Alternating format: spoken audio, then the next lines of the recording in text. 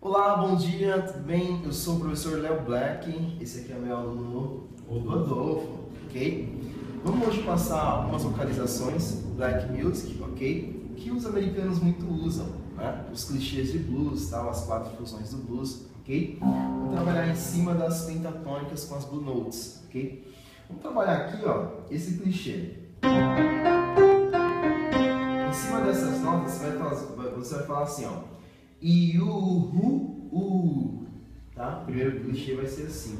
Então, eu vou fazer uma demonstração, aí depois você faz junto comigo, ok? Ok. Vamos lá? Então...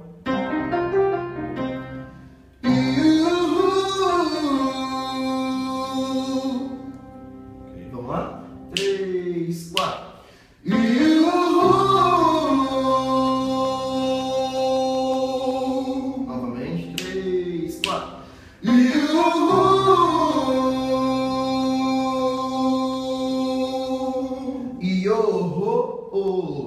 Bora lá? Três, quatro.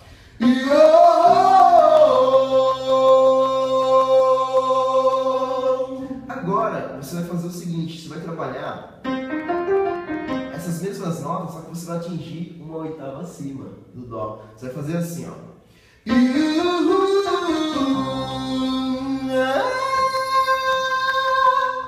Lá em cima, ok? Vamos lá? Três, quatro.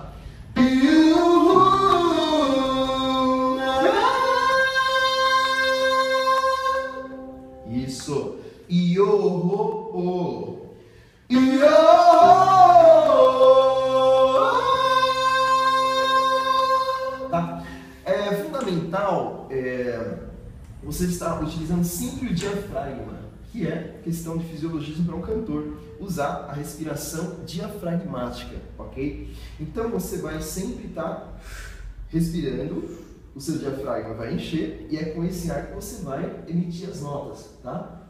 Trabalhando as notas mais limpas possíveis, ok? Então esse clichê ele é importante para utilizar no meio das músicas também, né? A gente poderia até fazer esse clichê novamente, só que trabalhando uma escala descendo, um exemplo.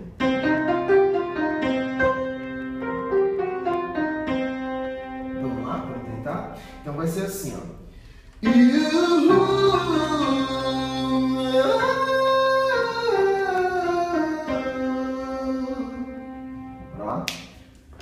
Essa é a escala de blues. Deixa eu te apresentar a escala de blues. Escala de blues, tá?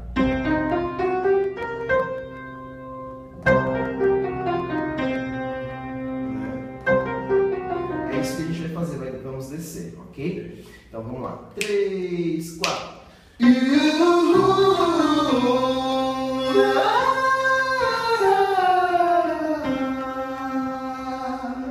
Tá? Segura aí a peteca, vamos o diafragma, tá? Tenta aí também usar a parte da respiração intercostal, tá? Lembrando que essa, essa parte da musculatura não pode tensionar, cara, de jeito nenhum. Nem a parte, parte daqui, ó, do queixo, não pode de jeito nenhum tá tensionando, ok? Tem que deixar livre essa região. Então, ó.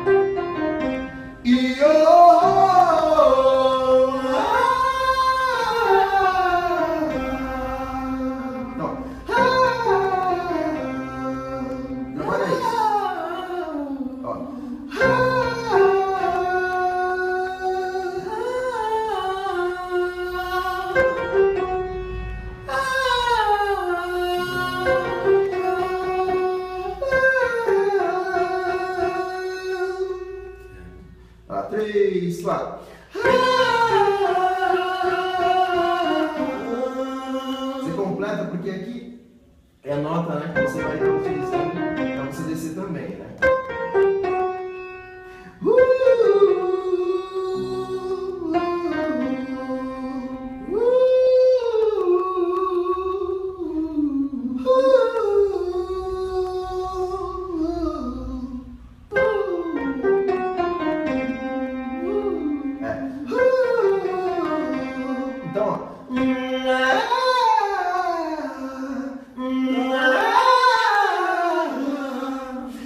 traz a parte da máscara, tá?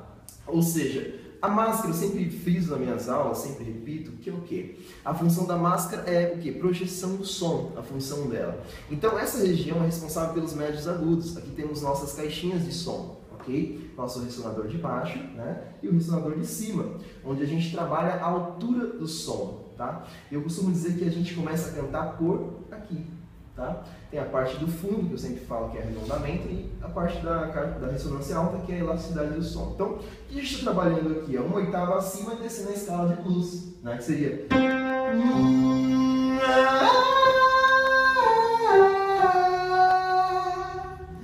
Olha, olha a nota que você deve frisar de cromatismo.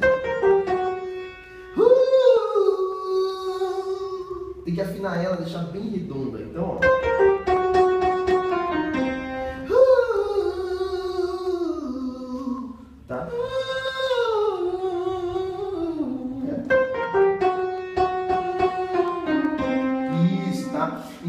Poderia estar trabalhando, então, é, juntando tudo, né? Iuhu, trabalhando o quê? Uma oitava acima, né? Trabalhando a parte de elasticidade do som e descendo a escala de blues, né? Então,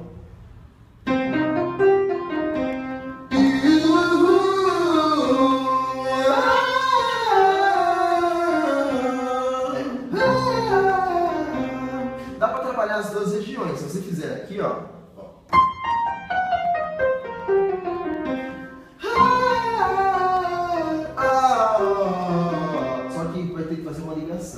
pode ser tão assim. Faz um médio, médio.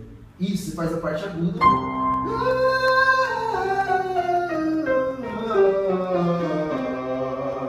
Tá? Você trabalha a parte é, aguda e vai para a região é, normal que você sempre canta, né? Na sua região habitual de se cantar, ok? Então vamos trabalhar aqui mais um pouquinho de clichês.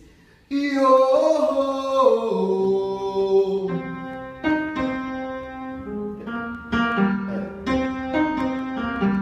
trabalha um pouquinho mais para trabalhar a voz do peito, tá?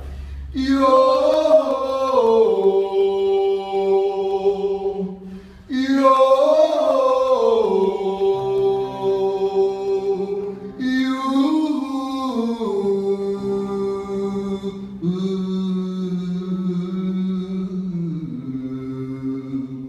É importante frisar o seguinte: se você tem um agudo bonito, você tem que também ter um médio bonito e um grave bonito também. Como é que faz isso? Você treinando, vocalizando, tá? Sempre tá atentando-se à alimentação, tá? Tá comendo maçã também para limpar as secreções que acumula né? na região da garganta, né? das cordas vocais e aí induz ao pigarro. Então você tem que eliminar é, isso para você projetar cada vez mais as notas com mais limpeza, né? com clareza aí dos sons, ok? E também trabalhando o que? A úgula, né? que situa-se aqui na parte da região do nosso pescoço. Se você abrir a boca em frente ao espelho, você vai ver lá dentro o palato mole, né? E aí quando você boceja, esse palato mole ele dá, né, vai um pouquinho para trás, fazendo com que o ar saia com mais limpeza de som, tá? Então é isso, palato duro, céu da boca, tá? Palato mole, a úvula, essa região. Então, para cantar, tem que atentar o quê? Na mecânica da respiração, primeiramente, tá? E trabalhar a vocalização atentando-se o quê? A percepção musical, que é muito importante, a afinação, ok? Então, é isso aí, Rodolfo, tá? Ok. Tamo junto, legal? Isso aqui é o cara, vem cá fazer lá na. cantar música. Canta Brasil, Brasil. Canta Brasil, ok? Tamo junto. Vamos lá.